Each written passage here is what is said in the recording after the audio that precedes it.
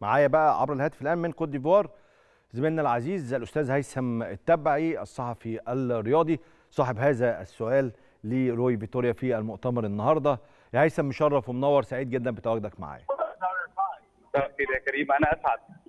طيب النهارده السؤال كان ذكي جدا ومباشر جدا بس المفاجأة كانت إنه قبل ما روي فيتوريا يرد كان محمد صلاح رادد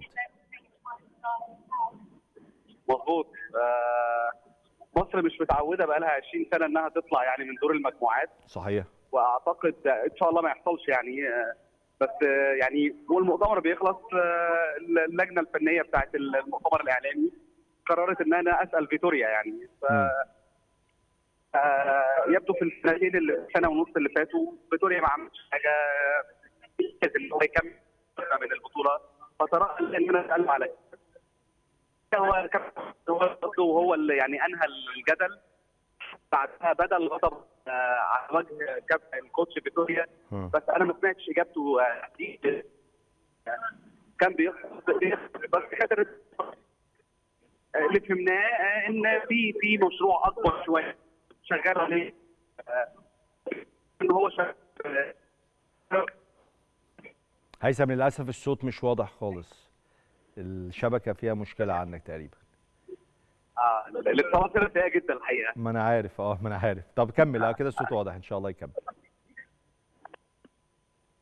آه لا كده سوريا يعني اللي, فهمناه إن إن هو في كأس العالم في كأس العالم. الأمور ماشية يعني. مشروعه مش هي مش هينهار. لو قدر الله خرج غدا يعني من من كاس الأمم. هيثم هل عندك معلومات فيما يخص سفر محمد صلاح إلى ليفربول؟ وصلتك معلومات جديدة؟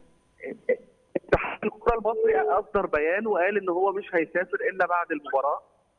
ولكن البيان كان بيتضمن إن محمد صلاح مش هيعود ودي النقطة الأهم إلا مع الدور نص النهائي. ده بيختلف مع المنتخب أعلنه يوم الجمعة. صحيح. الجمعه قال ان هو هيغيب عن المباراتين هو مباراة كاب فيرد ومباراة دور التم... دور ال 16 إحنا دلوقتي قدام حقيقة أخرى ان هو قد يغيب حتى عن ربع النهائي في حال تاهلت مصر ترجع على نص الإصابات يعني حسب ما سمعناه هو هيثم هيثم التبعي زميلنا الصحفي الرياضي من كوت ديفوار أنا آسف جدا مش قادر أسمعك خالص.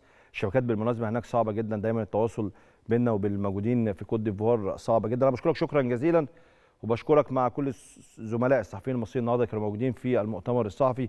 كانت أسئلتهم ممتازة جدا يعني.